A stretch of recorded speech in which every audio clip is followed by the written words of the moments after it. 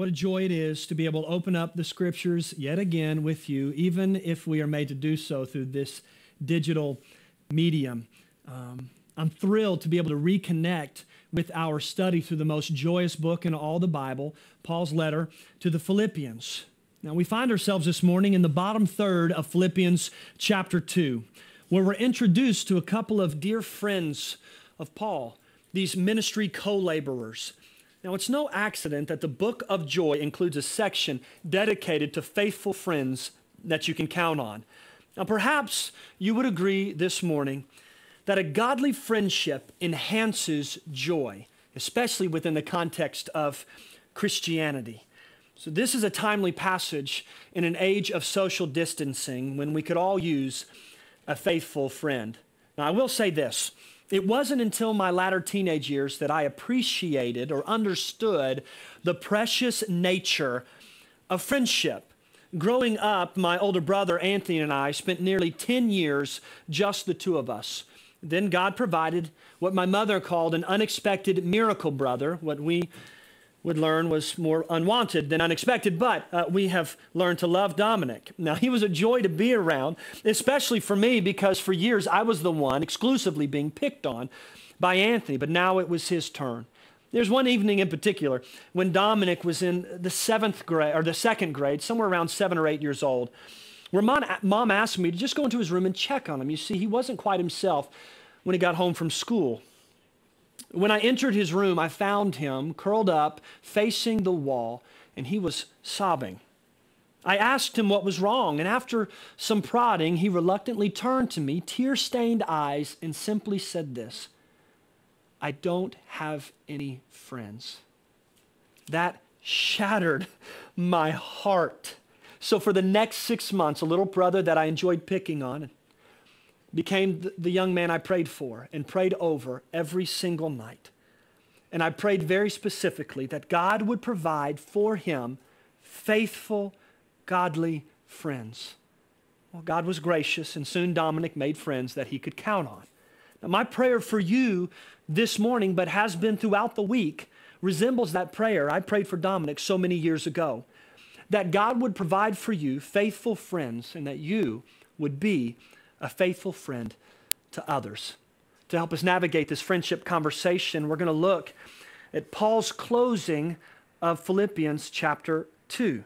Now, up to this point, Paul has, in the immediate context preceding this, elevated the humiliation of Jesus Christ, where he humbled himself through obedience unto death on the cross.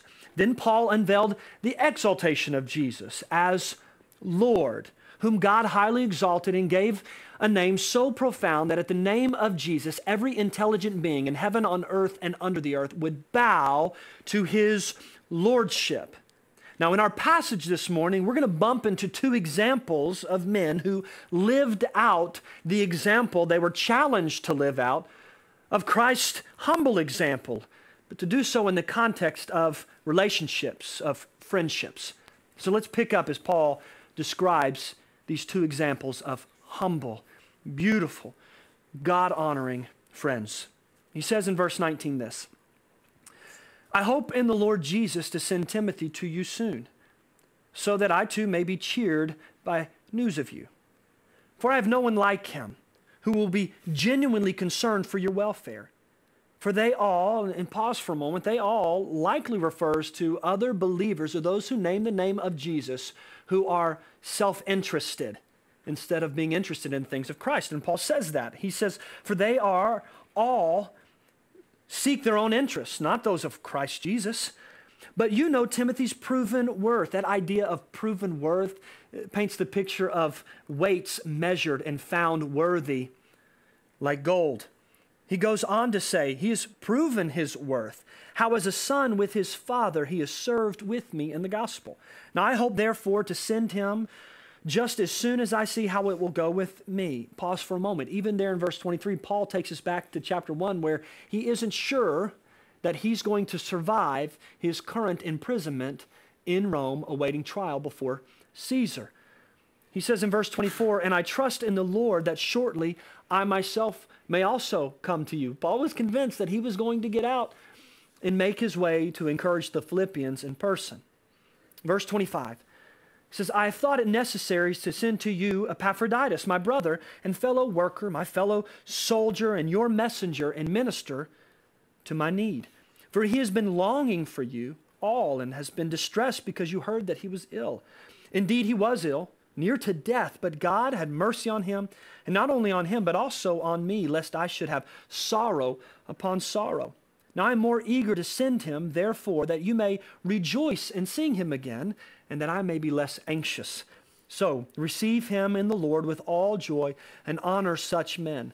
For he nearly died for the work of Christ, risking his life to complete what was lacking in your service to me. In this glaring example of friends you can count on, Paul teaches us a little something about his friends. Friends you can count on show up. We see that all throughout this passage. Paul, under house arrest in Rome, chained 24 hours a day to a Roman soldier, could receive visitors. And several showed up, but among those who showed up were mentioned in our passage. That's Timothy and Epaphroditus. If you read through the New Testament, you'll hear a lot about young Timothy. He was one of the dearest companions for Paul, and he's described that way in verse 22, where Paul calls him a spiritual son. You see, it was Paul who led Timothy ultimately to faith in Christ, building on the foundational teachings and testimonies of Timothy's mother and grandmother. But it was also Paul who discipled Timothy, who raised him up in the faith. Paul talked of Timothy in glowing terms, but perhaps he mentioned his great worth in the most profound way in verse 20. He says, I have no one like him. Timothy was one of a kind. He goes on to say, No one like him because he is genuinely concerned for your welfare. Paul embraced and understood Timothy's genuine concern for Paul as he was by his side.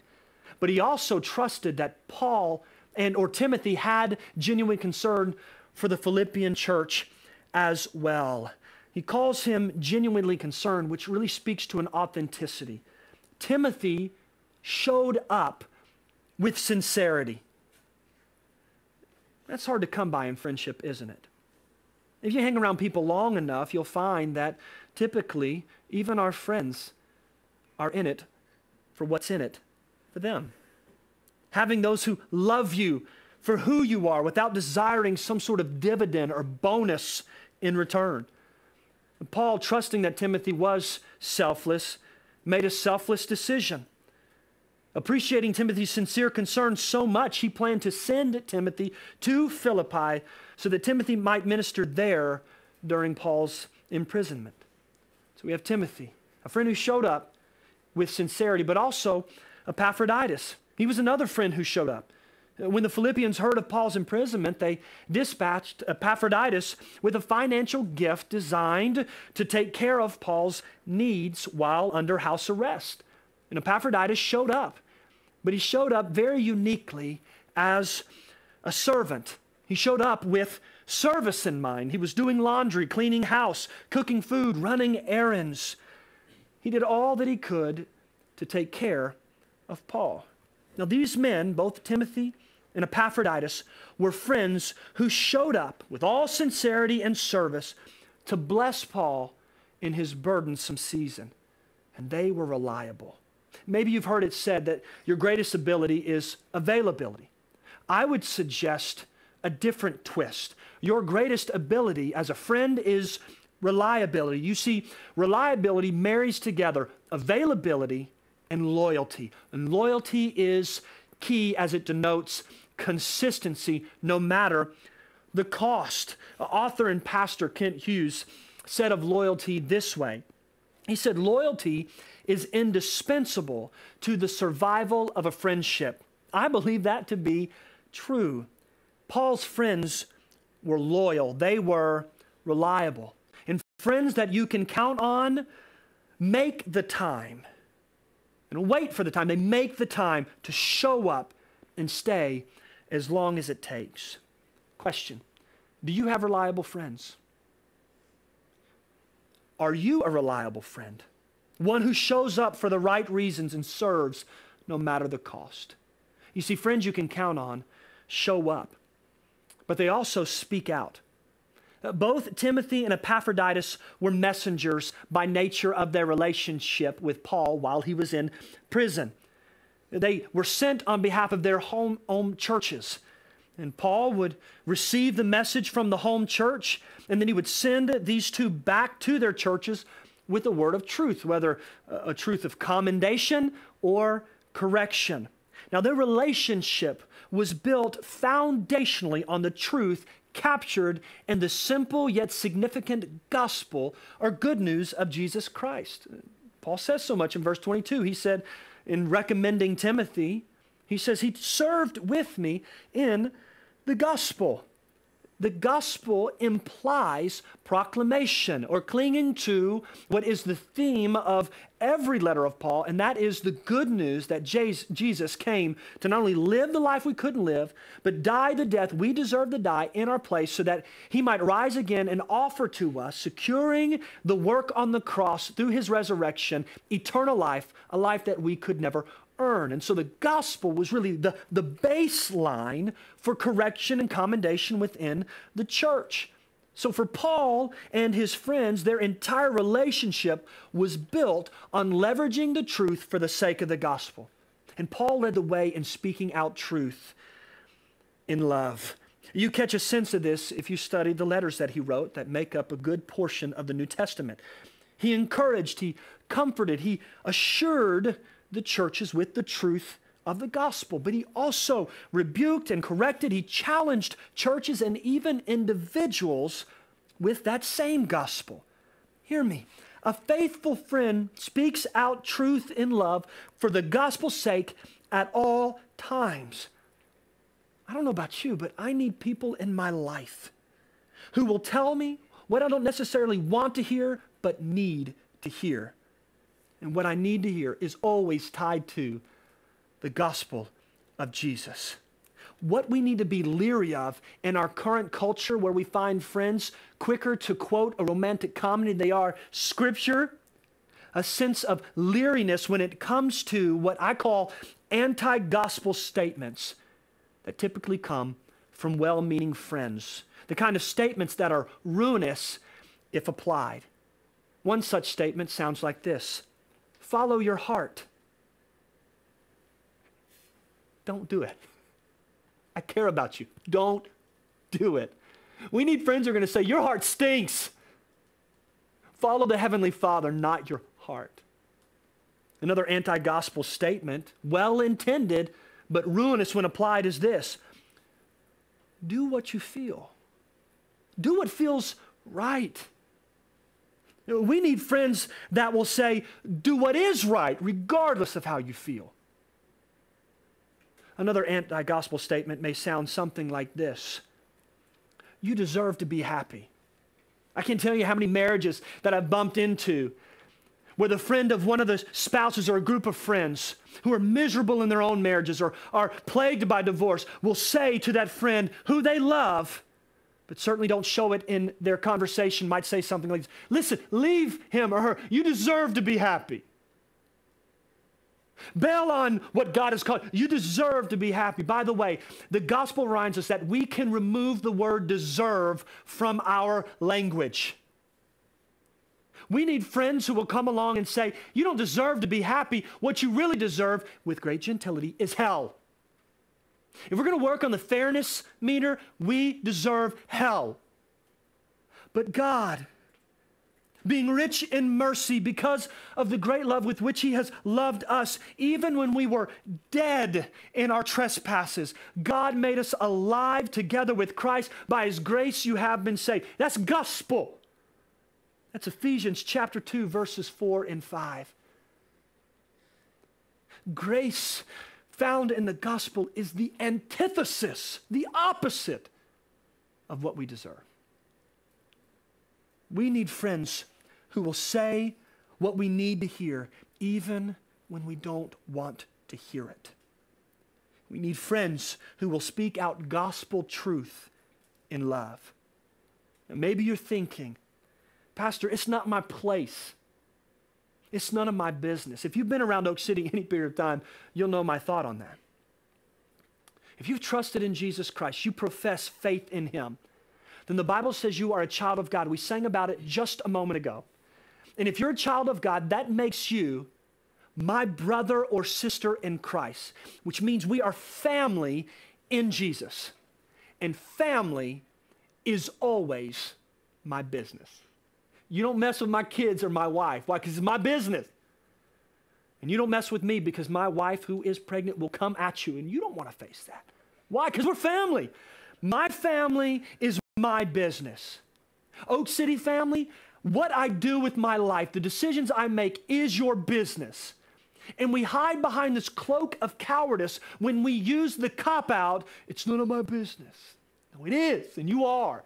You're worth having the awkward conversation. Is why? Because, friends, you can out, count on speak out gospel truth in love.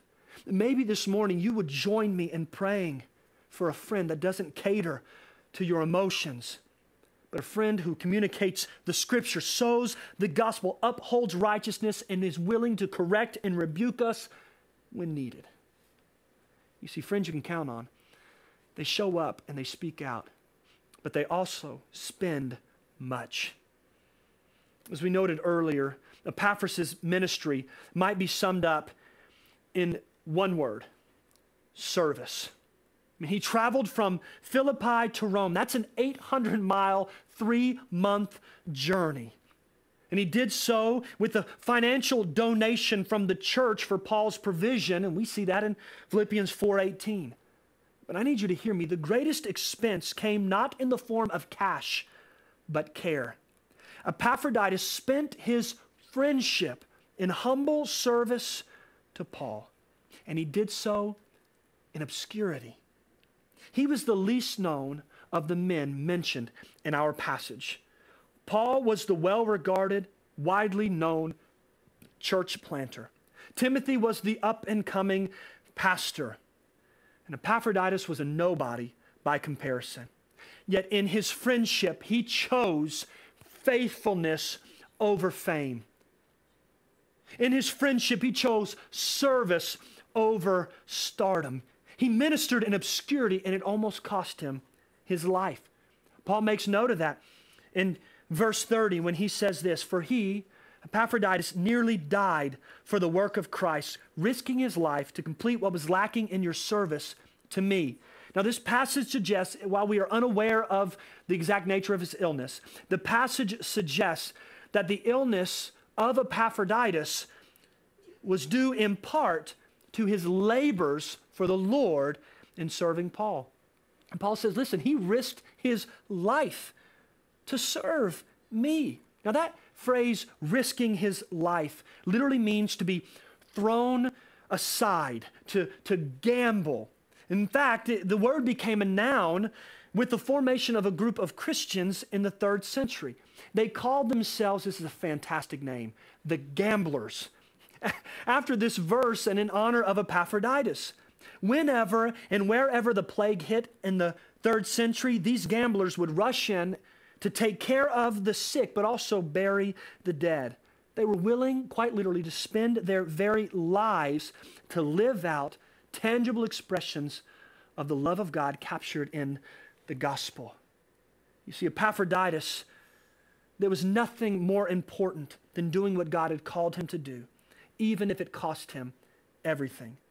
Such sacrificial friendship is noted within Scripture, in particular in the words and ministry of Jesus Christ, who in John 15, verse 13, said this Greater love has no one than this, that someone lay down his life for his friends.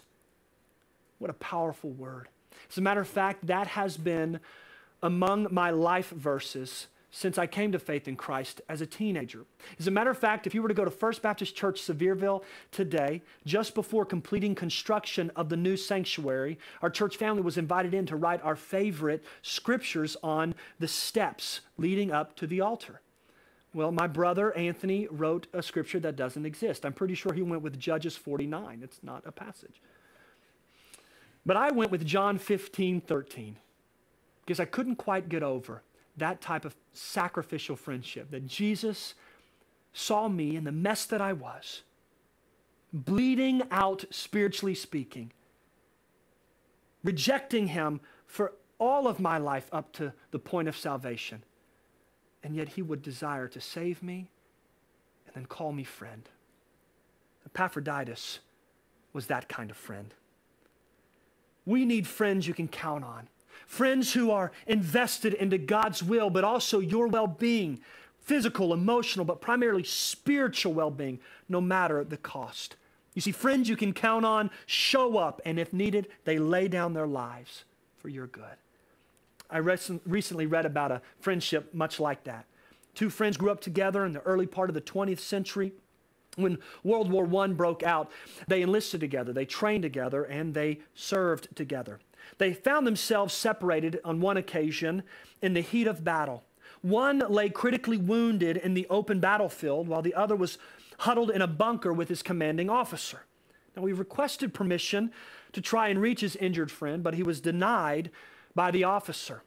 In fact, the officer said that it would be suicidal. So when the officer turned his back, the soldier bolted out of the bunker towards his friend, dodging bullets along the way. He eventually staggered back to the foxhole. His friend was now dead. He himself had been shot multiple times, and he lay dying in that bunker next to his deceased friend. The officer was both angry but also deeply moved. He, he shouted, What a waste! He's dead and now you're dying. It wasn't worth it, soldier. To which the man replied with his final words, Oh, yes, it was, Sarge. When I got to him, the only thing he said was, I knew you'd come. I knew you'd come. When Paul needed a friend in prison, his life hanging in the balance, two friends showed up. And Paul, based on this writing, knew they'd come. He knew they'd show up because they knew Paul was worth it. Do you have a friend like that that you can count on? For the believer, are you a friend that others can count on? If the answer is no, then why not pray specifically today and in the days ahead God, would you give me faithful friends and help me to be the faithful friend that others can count on? Ultimately, there's no more worthy, faithful friend than Jesus. It's in a relationship with Him that we learn how to be faithful friends. I mean, think about His testimony. When we were wounded in sin, losing the war against darkness. Jesus left the safety of heaven for the battlefield of earth. He took on enemy fire, and when he was crucified in our place, he showed us greater love by laying down his life for his friends. Do you know Jesus as your friend, as your Savior? Have you placed the full weight and trust in him for the forgiveness of your sins? If not, then today he's calling you. You say, well, how do you know, Pastor? Because the God of the universe and the Son of God did not bleed out so that you might wonder or be inspired by his work. Jesus suffered, died, and rose again so that you would be indwelt by his Spirit. That means you, yes, you, phony at times, broken, messy you. Jesus longs to be your Savior, and He longs to be your friend. So maybe today you respond. I knew you'd come, Jesus. I knew it. And receive in faith the free gift that He offers today. I'd like to lead you in a prayer right now for those of you who say, I need this Jesus to be my Savior. You can pray with all sincerity, and Jesus will swoop in, not only save the day, but save your soul. Adopt you into the family of God and bring you into this family that we know of as Christianity. Maybe you can pray something like this Dear Jesus, I am broken. I am a sinner on my best day. And I know that I have separated myself from you. But I believe, pray that, say, I believe that you, Jesus, died in my place so that I could be forgiven. Pray, I believe that you rose again so that I could have eternal life. So, right here, right now, by faith, I receive your free gift of salvation, grace, forgiveness, and adoption. I am yours, Jesus, forevermore. Thank you for wanting to be my friend. In your name I pray. Amen. And maybe you prayed that, and we celebrate with you. If you meant it, God, I believe, through His grace, rescued you in Christ. And you now begin this spiritual journey. And we want to walk with you in that journey, to help you along in that journey. So let us know. You can direct message our Facebook page. You can reach out to us with any of the contact information we have. We want to resource you moving forward as you walk in this joy journey with Jesus. For everyone else, know that we have a friend in Jesus, but the world needs a friend in us. So let's pray even now. God, would you provide for me in my life faithful friends who will step up, show up, speak out, and spend much? And more than that, Father, would you make me that kind of friend to others? And watch how God grows his family and encourages many hearts along the way. I hope you've been encouraged this morning. I can't wait to be able to say this in the room with you, to look at your faces, to see your families together, and to celebrate Jesus. Until then, keep tuning in and know that we love you and miss you.